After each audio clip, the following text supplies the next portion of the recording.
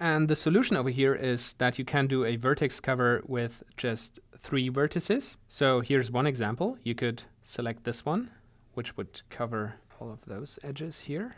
Then we could select this one, covering all of those edges.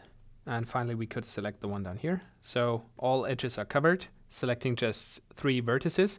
And there's alternative solutions, but none that contains less than three vertices. Now, what about over here? Here we can find a very small vertex cover using just two vertices. This vertex here, we just don't even need to care about because it has no edges that it's connected to. We can select this one here, covers all of those edges. And we can select, for example, this one here.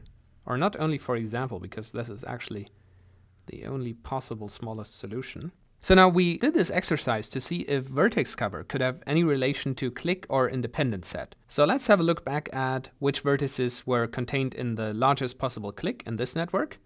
And those were four vertices. It was this one here, this one here, this one, and this one not any really apparent relation between the two problems. This one over here, however, is more interesting because in the largest possible independent set, we had those four here. So it could seem like vertex cover, those two green vertices here, is exactly the opposite of independent sets. So if you have found the largest possible independent set, then you have found the smallest possible vertex cover.